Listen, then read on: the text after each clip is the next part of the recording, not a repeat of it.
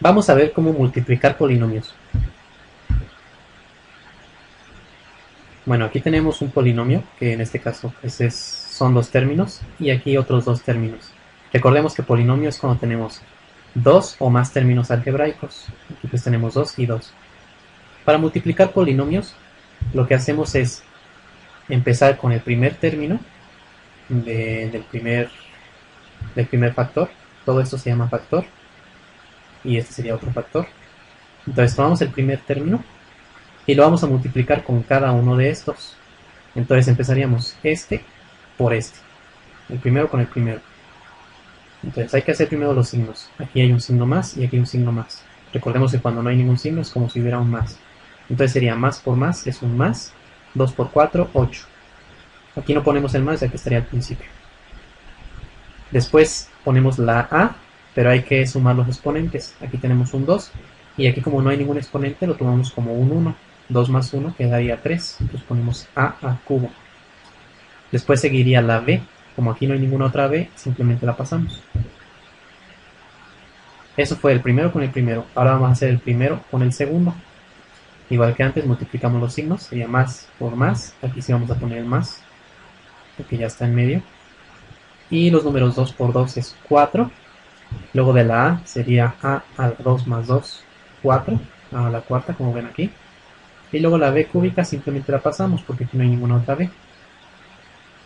Y así iríamos haciendo ahora con el segundo término. Sería el segundo con el primero de aquí. Entonces va a ser menos por más, menos. Y 3 por 4, 12. Quedaría menos 12. Después la A la pasamos porque aquí no hay ninguna otra A. Y la B quedaría 1 más 1, b al cuadrado, b a la 2. Después, menos por más sería menos, 3 por 2, 6, menos 6. La a al cuadrado se pasa porque aquí no hay ninguna a. Y la b sería 3 más 1 de aquí de esta b, quedaría b a la cuarta. Ya multiplicamos todas las posibles combinaciones, por lo que ya terminamos. Ya hicimos este con este, este con este, este con este y este con este. Entonces ya terminamos. Veamos otro ejemplo.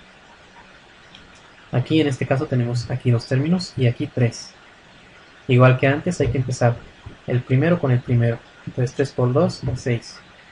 Así de simple. Después el primero con el segundo. Sería más por más es más. Y 3 por x se pone así nada más 3x. Porque no podemos multiplicar un número por una letra. Así que simplemente lo ponemos así seguidito. Después sería más por menos es menos. Y 3 por x cúbica pues quedaría menos 3x cúbica. Ahora menos por más es menos, 2 por 2 queda 4 y la x la pasamos.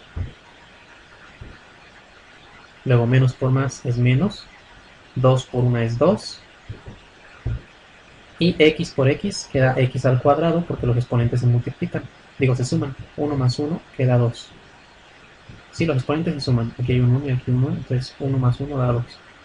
Ahora este con este sería menos por menos más 2 por 1, 2, y x por x cúbica quedaría x a la cuarta, porque tendríamos 3 más 1, 4. Los exponentes se suman.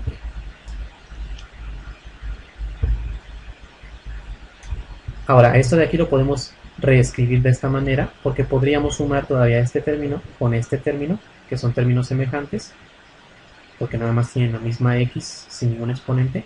Entonces quedaría 3 menos 4 es menos 1 menos 1 de x. El 1 no se toma. Todos los demás términos, como ven aquí, son los mismos, solo que ordenados por exponente. Y ya. Esta sería la manera correcta de dejarlo. Siempre que tengamos términos semejantes, hay que sumarlos. Hagamos un último ejemplo. Tenemos aquí dos términos y aquí dos términos. Entonces, igual que antes, vamos a empezar el primero con el primero sería 2 por 5, 10. Luego, la m al cuadrado se pasa porque aquí no hay ninguna m, aquí está. Y luego la n al cubo se multiplica con esta n al cuadrado. n al cubo por n al cuadrado sería n a la quinta porque los exponentes se suman, 3 más 2 queda 5. Y la p también la pasamos porque aquí no hay ninguna p. Ahora, este con este de acá sería más por menos es menos, 2 por 3 queda 6 Luego m cuadrada por m cúbica es m quinta. n cúbica por n cuadrada es n quinta. Y el p al cuadrado lo pasamos porque hay ninguna p. Entonces ya hicimos el primero con cada uno. Ahora el segundo con cada uno. Sería menos por más es menos. 3 por 5 es 15.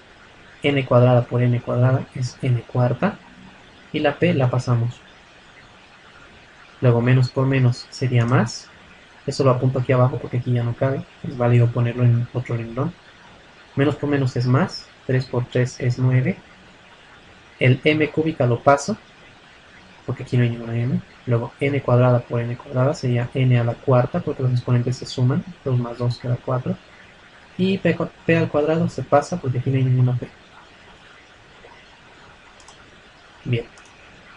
Ahora intenten ustedes realizar estos productos.